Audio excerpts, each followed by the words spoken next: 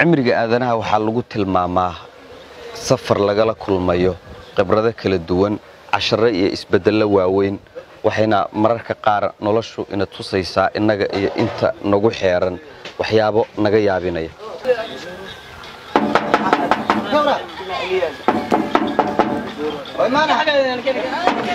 Asalaamu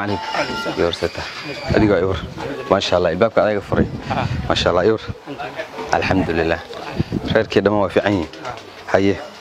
Cusmaan xuseen nuur oo ku magac dheer damuumay ayaa noloshiisu guud ahaan waxa ay kulansatay sifooyinkaasi oo idil.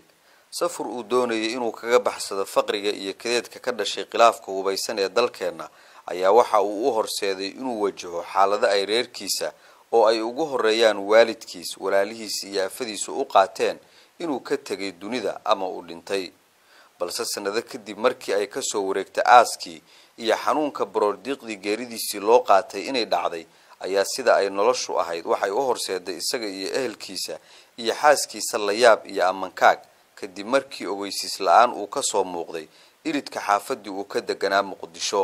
Horta wadanka ujeeda burbur iyo rafaad ka dhacay wadankan burbur iyo rafaad markuu dhacay waa iskaga tegay reerkeygii iyo ciyaalkeygii oo dhex jooga iskaga tegay.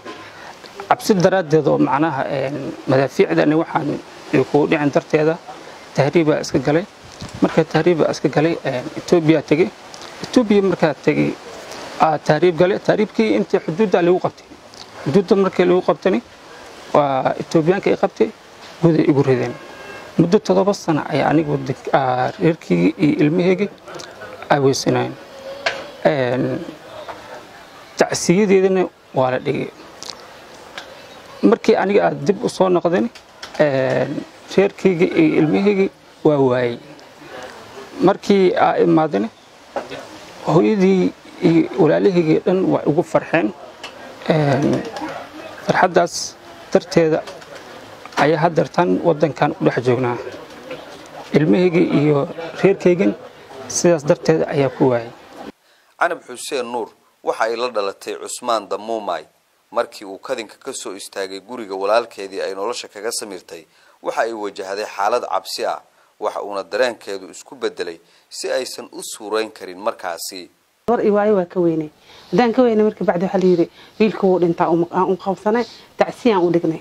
Gabadhiina asaayaan u saarnay asaaga hadday ka degatayna wax saasay ma soo jooganayn nin bay argursatay muddo markii laga joogay kabacdi ninkii soo ordaaba noo imaad faaji'a bay nagu noqotay arrintaasayto mar naxdin oo farxad leh farxadda haddii la farxo aad baa loo naxaa soo maahan aad baan u naxna anaga. Laakiin waa ku sii faraxno. Haddana waxaan ka sii naxnay ninkii oo naagti qabay oo walaalkay oo naagti qabay oo naagtii oo nin guursatay. Weji aan kula hadalna aan weynay gabadhina ilaa ay hadeertaan weji ma siin karno oo ma tegi karno arrintiina meel ma saarin. Soo noqoshadiisii waxaa dhacay wax uusan filayn waxaana meesha ka baxay xaaskii iyo ilmihii uu nolosha halista badan u geliyey si uu ugu soo shaqaysto waxaana lagu wargeliyey inay nin kala guursatay afadiisii sannado kadib markii isaga raq iyo ruuxba laga quustay. Wallaahi wax weyn oo weyn weyn. Aad iyo aad ayaa dareemaa. Sababtoo ah waa taqaanaa marka adiga reerkaaga aad dhex joogtid in markaa reerkaaga ciyaalkaaga aad weysan tahay waxaa waaye noloshaada naaqusay noqonaysaa marka naaqus ay noqota nolosheeda shaqa hataa niyad hataa uma hayo. Sababtoo ah iyo reerkaaga iyo ciyaalkaaga maadaama meesha akawaas waxa niyad ah kuma kuma hays. Hadda isagu waxa uu u nool yahay sida qof aan noolayn dhimanna inkastoo noloshu ay tahay halgan mana jecla inuu soo xasuusto maalmihii kadeedka iyo urkutaalada u badnaa ee uu sagootiyey.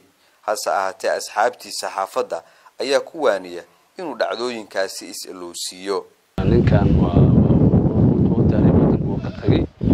Toddoba sano etoobiya ku xirnaay marka ciddooda tacsiya dhigeen marka markuu muddo xirnaay hadalkiisa dhanaa la waayey meel walbaa laga raadiyey inta micnaha inta micnaha